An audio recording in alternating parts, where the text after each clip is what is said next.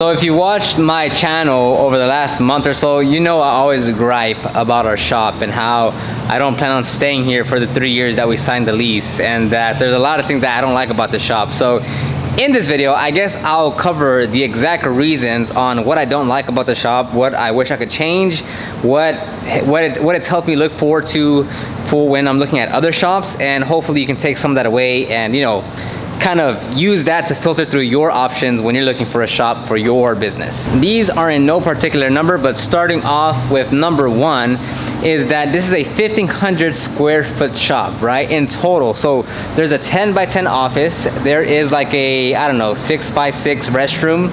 So it's not a true 1500 warehouse. It's like whatever, uh, whatever square footage is office and restroom and the small little waiting area. And then the rest is gonna be warehouse space, right? So in here from day one, I said this is not a big warehouse. This is not a big unit, right? And I know a lot of you are like, well, that's much bigger than my than my than my garage. Well, you know, if you take that gym out of here, you can make it bigger. Well, if you do this and you do that, look, a lot of what you decide to do in your business is gonna be completely dictated by your goals in your business, what you want to accomplish, the type of operation that you want to run. So for me, Oscar, and what I want to do and how we want to do things, I hate the small space. And I knew it was small to begin with, that's what she said. But the reason why I stayed, that's what she said, I'm just kidding. No, but the reason why I chose it, which I, I mentioned this in a Instagram story, follow me on there, is that it was out of fear that I didn't get a bigger location because it was still like, ooh, can we really take on a $1,600 per month rent and still keep the business growing? And looking back now, what I had, should have done was instead of getting the, the smallest unit they have, a 1500, it should have been minimum at least like a 2000 square foot shop and you know be like whatever office whatever um, um, um, um warehouse space. But sh I shouldn't have gone with the smallest unit because I was operating out of fear. I was like oh what if it doesn't work out? I want the lowest price. But you know so one big thing that I already knew from the very get-go was like this is gonna be a small shop. We can only fit one car. Yeah if I take the gym away a car and a half two cars. But even then it's not gonna make or break the, the difference. Like I still hate how small this space is. And I just, I don't like the space. All right, so number two is that this office space is a 10 by 10, and this is everything that we have here. This is one office space or office desk. Here's the other office desk.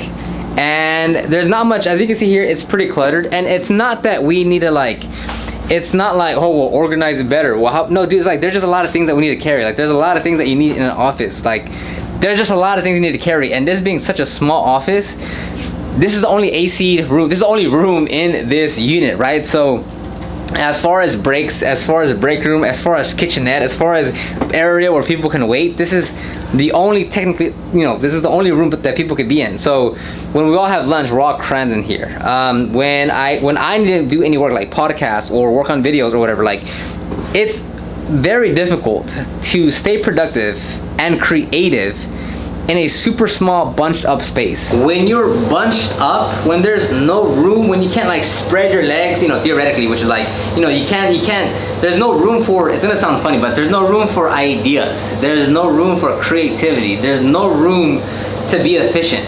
Like when you're in a cramped office space, when you're in a cramped warehouse, it just like it clutters your thinking. And I, I mean, like for me, and I don't mean creative as far as like, hey, I have to make a YouTube video. Like although that's a part of it, but another creative part is like thinking about the business, thinking about the strategy, thinking about an offer, thinking about how we're gonna plan the next three months. Like that, and it's like you, it's hard to do that in this cluttered room because there's no space. Like I, I mean, I hope, like, I hope that that's making sense. But like, if you have a cluttered space, if you have a cluttered area, if there's too much activity compacted into one thing, you can't think as well. So aside from just not being able to move and like I'm stuck in this little corner, it also limits the creative juices that you have in order to grow your business. So this one I wasn't really expecting, but if you see behind me, right, it looks like a pretty spacious, enough space for vehicles to park. Now, what you'll constantly find with a lot of these business parks is that there's actually not a lot of parking. Once like all those spots are filled it seems so cramped in the parking lot where there's literally no space to move around. And there's very, very limited parking here. So it's like, if you don't get here soon enough, where do you park? Right? And even at other locations I've seen recently, right? Because we haven't seen other locations, is that a lot of other locations have this same thing where it just, it's not made for like, you know, excess amount of parking, right? So it's again like it depends on your goals because I just like if if it's my choice to have like something that I want, like I don't want a crammed parking lot. I don't want a crammed office space. I don't want a crammed warehouse space. I just I just don't want that. Like, I don't want to put up with that. So for me, when it's a completely jammed out, packed parking lot, because it's not even that big to begin with, it's just like I just want to get out of there. It's like I want people to move away because it's like I don't I don't like the clearness. Because right now I believe there's still three to four other units being built out for the tenants to move in. So already, right now, at certain times of the day, the parking lot is already filled. And that's not including the three or four other units that still have to be finished so the tenants can move in. And are they bringing two employees with them? four employees with them, five employees, like each business, how many employees are they bringing? The parking lot will 100% always be completely uh, uh, um, maxed out. So it looks very spacious, like it looks very nice, but it's not. Once all the cars are filled, you can only move so much. It's hard to move cars around. It gets really cramped. Cars are already coming in and out. It's annoying. It's annoying. Sorry for all the wind, but this one is my fault where I didn't check to see if every unit has a spigot. This is one of four spigots located on this business park. Every unit has no water spigot. You have to come to the side of the building to get water. Now I could actually make this work and we could get a spigot installed, but given what we want to do now, it's just not something that I want to move forward with. So it is an option. When you are looking for your spots, make sure that you ask, hey, can we install a water spigot? Is that okay? Because usually, not usually, but depending on who you're working with, the lease, the length, they're able to accommodate you on certain build outs to include what you need. So next one has to do with the waiting area. Now, to be honest, not many customers wait here. Most of the time, let's say 85% of the time, they drop off their vehicle. But because it's a, such a small location and you're limited on room, this is gonna be the waiting area. You have the office and the waiting area, and the waiting area is right in, first of all, there's no AC on there. But second, it's right in front of the office. So every time someone is sitting here waiting for their vehicle, they're just waiting, and you open the door, it's always that awkward like, you know, it's that awkward like, who are you? Not who are you, but you know, it's like, oh hey, yeah, I'm waiting for my car. So that always makes it a little awkward. And it's like, again, there's no AC here very limited on what we can do. So uh, a, a, big thing of this comes down to like the space. Um, again, it, could I, like, you don't know what you don't know until you know, you know? So it's not like I had the 2020 vision to look back and be like, you know what? I'm gonna regret doing that. No, it's a part of the process. As I always say, progress over perfection. Like, are these mistakes that I would love to avoid? Yeah, but who's, you know, I'm not playing Monday morning quarterback. I'm, I'm, I'm make, we're making decisions based on how we're currently moving. And you know, we just live and learn. Like that's another part of growing a business. Like you're gonna make mistakes. You're gonna lose money. You're gonna have headaches. Some are gonna be good, some are gonna be great, some are gonna be terrible. What do you wanna do? You just keep on moving forward. Next is there's no drain in this unit. So that means we have to put everything on this water reclamation mat once we're done washing or doing whatever that we're doing, we have to vacuum everything up and dispose of it like that. And that adds so much more time and headache and hassle to the day-to-day -day operation. It is very, very annoying. Same thing with the water spigot. I should have foreseen that. I didn't. It slipped my mind.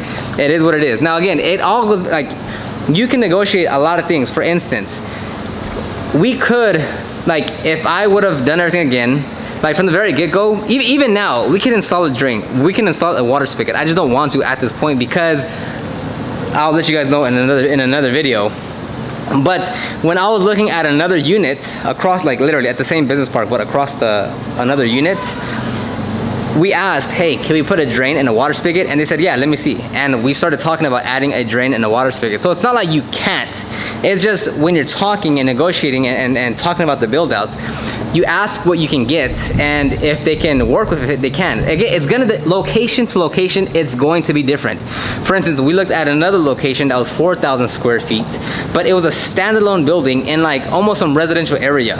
And because they didn't have a water line, or because the size of the water and septic whatever was small, you're much more limited on, location will matter significantly on what they can do or if they're gonna include it in the build outs or if it's gonna be on your responsibility and perhaps they can give you like one month's free rent or something you're gonna negotiate all of it. So we currently are looking at other locations, not that we're gonna move in next month, but it is always planning for the next step. Like I said, I'm not staying here. Like I, I don't like coming here.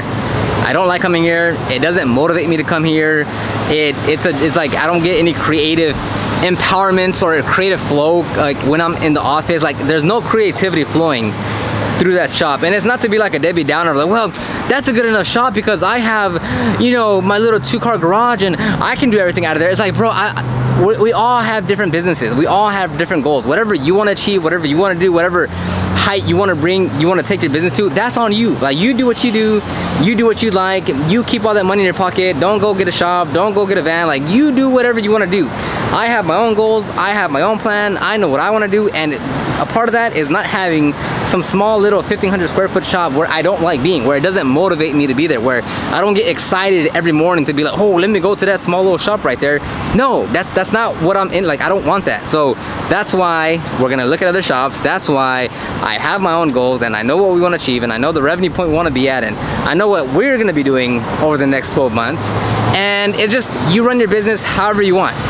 If you want to shop, if you want a 1500, a 2500, if you just want to stay in your garage, completely up to you.